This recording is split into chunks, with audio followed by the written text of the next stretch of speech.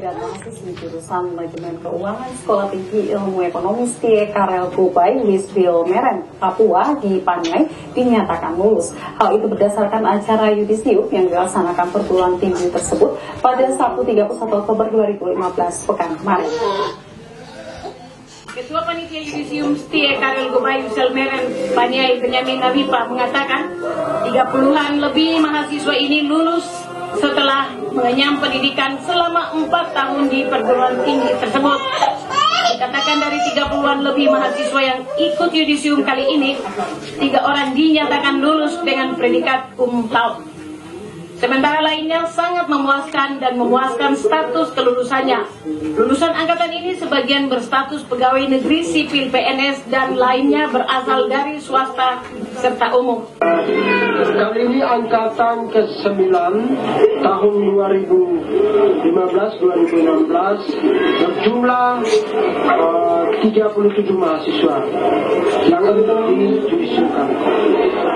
Kemudian rencana untuk wisuda pada bulan Oktober atau bulan Maret 2016. Sementara itu, pembantu rektor satu Setia Karel Gobai Enarotali, Peli Eka Yogi, mengajak puluhan mahasiswa yang baru yudisium ini agar dapat mengaplikasikan disiplin ilmu yang mereka dapatkan selama empat tahun di perguruan tinggi tersebut. Menurutnya, potensi alam di Papua, khususnya di Kabupaten Paniai ini sangat menjanjikan untuk diolah dan dikembangkan sehingga dapat memberikan penghasilan yang cukup bagi siapa saja yang mau mengelolanya. Kita selalu dorong ke mereka supaya sebelum Anda wisuda, itu Anda harus punya rencana. Terutama itu kegiatan usaha. Apalagi kita di sini kan disiplin ekonomi.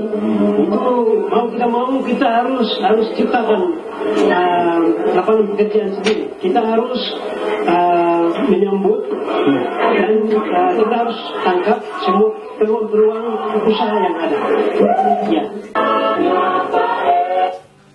Sementara itu, pada tahun 2016 mendatang, mahasiswa dan mahasiswi Sekolah Tinggi Ilmu Ekonomi STIE Karel Kobai Panyai akan diwisudakan di perguruan tinggi tersebut di Timika. Hal itu disampaikan Ketua Jurusan Manajemen STIE Karel Kobai usai menamatkan puluhan mahasiswa yang dikemas dalam acara yudisium. 37 mahasiswa dan mahasiswi Sekolah Tinggi Ilmu Ekonomi STIE Karel Gobai Paniai yang diluluskan pihak kampus tersebut pada 31 Oktober 2015 lalu akan diwisudakan di Sekolah Tinggi Ilmu Ekonomi STIE Amor di Timika, Mimika. Menurut Tajur Manajemen STIE Karel Gobai Paniai, Ivo Gobai, ini kali pertama kampus tersebut melaksanakan wisuda bagi para siswanya angkatan 9 tahun 2015-2016. Setelah sebelumnya, dari angkatan pertama hingga ke angkatan ke-8, mahasiswa yang telah diluluskan setia Karel Gobai Panyai menjadi sarjana dilakukan di daerah ini. Ivo mengatakan hal ini lantaran kampus tersebut akan berdiri sendiri terlepas dari Setia Amor Timika.